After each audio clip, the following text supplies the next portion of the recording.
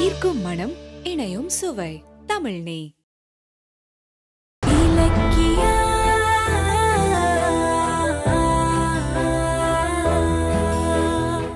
நீங்க சம்பாதிச்ச சொத்தை எங்களுக்கு என்ன எழுதி கொடுத்தீங்க? டேய் என்னடா? எதுவும் தெரியாத மாதிரி பேசிக்கிட்டு இருக்க? என்னண்ணே நீங்க? என்ன பேசுறீங்க?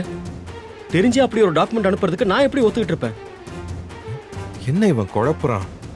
அப்ப அஞ்சலி இவனுக்கு தெரியாம தான் இந்த விஷயத்த பண்ணிட்டாளா? இன்னும் புரிய மாட்டேங்குதே. அண்ணா அதை பார்த்ததுக்கு அப்புறம் அம்மா எவ்வளவு அழுதாங்க தெரியுமா? எதுக்குண்ணே அப்படி பண்ணீங்க? சொத்து வேண்டானா அப்ப நாங்களும் வேண்டாம்னு முடிவு பண்ணிட்டீங்களா? அதுக்கு நீங்க என்ன கொன்னே போட்டுக்கலாண்ணா.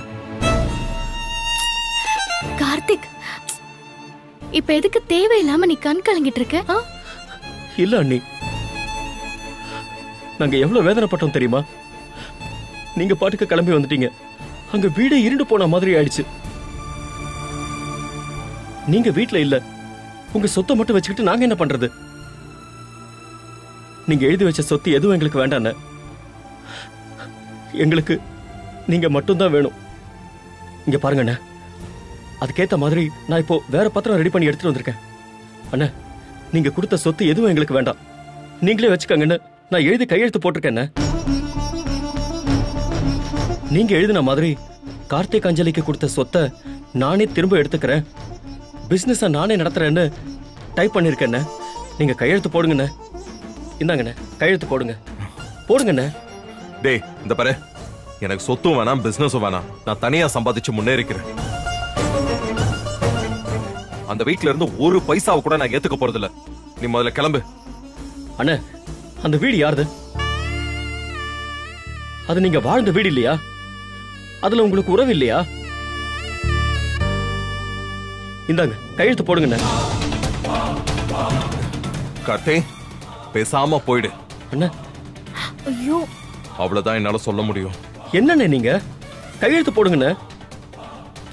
கார்த்திக் அவர்தான் வேண்டான்னு சொல்றாருல்ல. ஏன் கம்பல் பண்ற? விட்டுரு. அண்ணி என்ன அண்ணி? நீங்களும் ஒரு மாதிரியா பேசுறீங்க? இப்ப சொத்து வேண்டான்னு நாளைக்கு உறவு வேண்டான்னு அதுக்கப்புறம் நீங்க எல்லாம் யாருன்னு கேட்பாரு அதெல்லாம் என்னால தாங்கிக்க முடியுமா? சொல்லுங்க. அண்ணே சொல்றத கேளுங்க. கையெழுத்து போடுங்கண்ணே.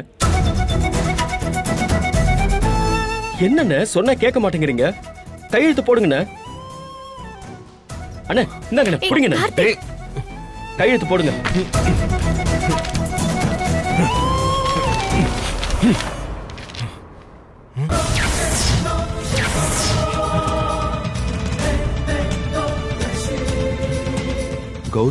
நான் ஜானகி வெங்கட்ராமனுக்கு பிறக்கவில்லை.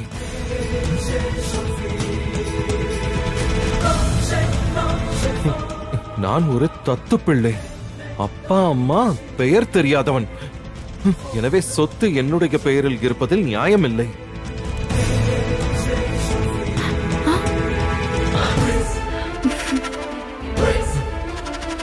அதனால் மொத்த சொத்தையும் நான் ஏற்கனவே திரு கார்த்திக்கிடம் ஒப்படைத்து விட்டேன். இப்போது ஆபீஸ் தொழில் நிர்வாகம் அனைத்தையும் அவரிடமே ஒப்படைக்கிறேன். இனிமேல் கௌதம் என்டர்பிரைசஸிற்கும் எனக்கும் எந்த சம்பந்தமும் கிடையாது.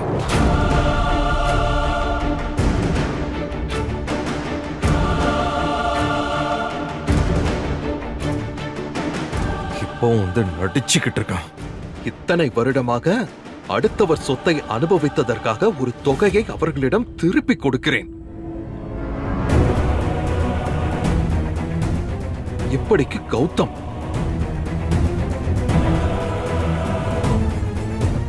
ஆனா என்ன நடிப்புடா.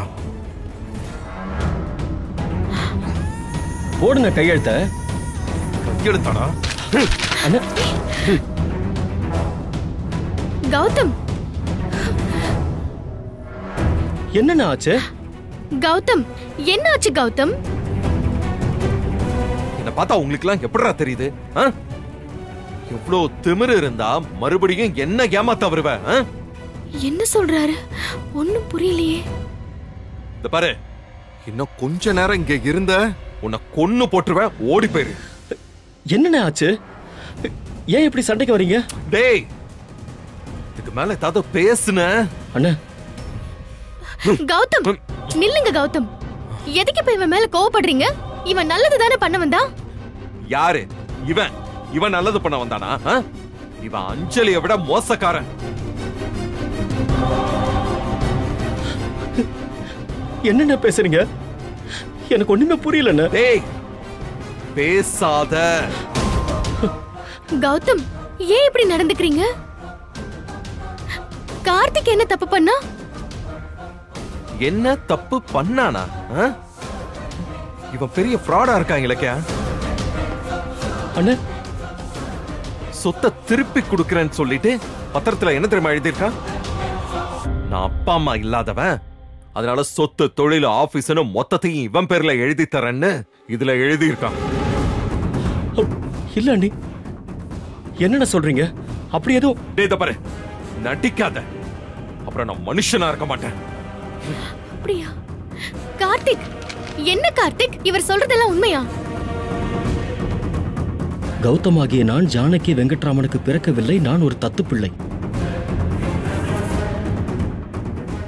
எனவே சொத்து என் பேரில் இருப்பது நியாயமில்லை. அதனால் மொத்த சொத்து மற்றும் ஐயோ அண்ணா இது எப்படி? என்ன? உண்மை தெரிஞ்சு போச்சுன்னு அப்படியே முழிக்கிற? இல்லண்ணே அது வந்து டேய் நிறுத்து. இதுக்கு மேல சமாளிக்க பார்த்த? அண்ணா. இந்த பாரு. அந்த வீடு சம்பந்தப்பட்ட எதுவும் வேண்டாம்னு சொல்லிட்டு தான் வெளியே வந்தேன். தெரியும்ல? சொத்தை கேட்டா நானா எழுதி தர போறேன். ஆனா நம்பிக்கை இல்லாம என்ன குறுக்கு வழியில ஏமாத்த பாக்குற? டேய் எதுக்குடா உன் புத்தி இப்படி போகுது? ஐயோ. ஐயோ இல்ல. சொத்தை திருப்பி கொடுக்க வந்தேன்னு சொல்லி பத்திரத்தை நீட்னா நானும் படிக்காம கழுத்து போட்டுருவேன் நம்பிட்டு வந்தல்ல அண்ணா. கார்த்திக் என்ன இது? எதுக்கு இந்த மாதிரி டைப் பண்ணிட்டு வந்த? ஐயோ அண்ணி சத்தியமா எனக்கு எதுவும் தெரியாது அண்ணி. இது எப்படி நடந்ததுன்னே புரியல. நான் கொண்டு வந்த பத்திரத்துல சொத்து மொத்தமா அண்ணனுக்குன்னு தான் நான் பிரிண்ட் பண்ணி எடுத்துட்டு வந்தேன். டேய் மறுபடியும் மறுபடியும் பொய் சொன்ன? விடுங்க கௌதம். நான் விடுங்க. பண்ணல இதுக்கு மேல இவன் என் கண்ணு முன்னாடி நின்னா கொலைதான் விழும். முதல்ல அவனை போக சொல்லு. ஆனா அண்ணா கார்த்திக். நான் எந்த தப்பும் பண்ணலண்ணே டேய் மரியாதையா வெளியில போயிடு. அண்ணா இல்லண்ணே. போ. போடான்னு சொன்ன உன்ன. நான் எந்த தப்புமே பண்ணலண்ணே. கார்த்திக் இப்ப நீ எதுவும் பேச வேண்டாம். முதல்ல இங்கிருந்து கிளம்பு. இல்ல அண்ணி. கிளம்புன்னு சொல்றேன்ல கிளம்பு. அவர் இப்ப கோவத்துல இருக்காரு. எதா இருந்தாலும் அப்புறம் பேசிக்கலாம்.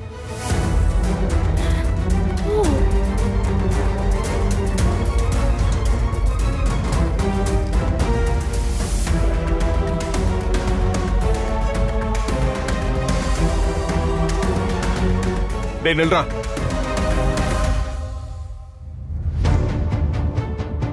இலக்கியா அந்த டாக்குமெண்ட் வாங்கு.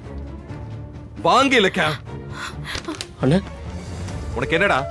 ஆஃப்டர் ஆல் சொத்து தானே வேணும். அதுக்கு தானே வந்திருக்க? இல்லண்ணே. கையெழுத்து போடுறேன். வாங்கிக்கோ. கௌதம்.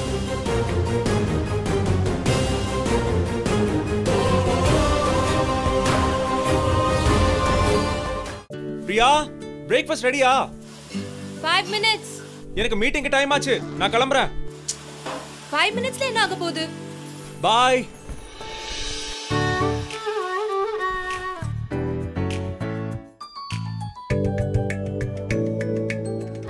லேட் ஆயிடுச்சுன்னு சொன்னீங்க? ஃபைவ் மினிட்ஸ்ல என்ன ஆக போகுது? இல்ல? ஈர்க்கும் மனம் இணையும் சுவை. தமிழ் இந்த வீடியோ உங்களுக்கு பிடிச்சிருந்தா லைக் பண்ணுங்க கமெண்ட் பண்ணுங்க அண்ட் ஷேர் பண்ணுங்க. மறக்காம சரிகமா டிவி ஷோஸ் தமிழை சப்ஸ்கிரைப் பண்ணுங்க.